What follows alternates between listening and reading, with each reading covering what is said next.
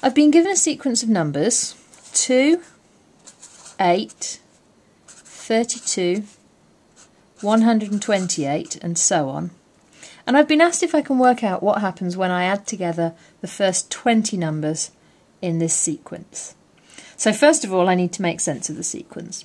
So to get from 2 to 8 I multiply by 4, to get from 8 to 32 I multiply by 4, to get from 32 to 128 I multiply by 4 and so on. So I'm going to rewrite this as 2, then 8 is 2 times 4, 32 is 2 times 4 times 4, so I can write that as 2 times 4 squared.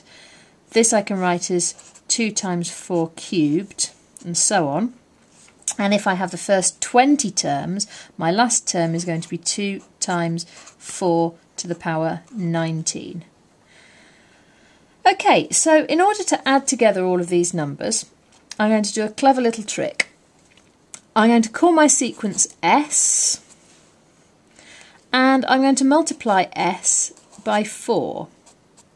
So 4 times 2 will be my first term, and then here I had 2 times 4, I've multiplied that by 4, so I'll end up with 2 times 4 squared.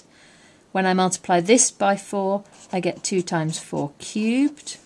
When I multiply this by 4, I get 2 times 4 to the power 4, and so on until my last term, which will be 2 times 4 to the power 20.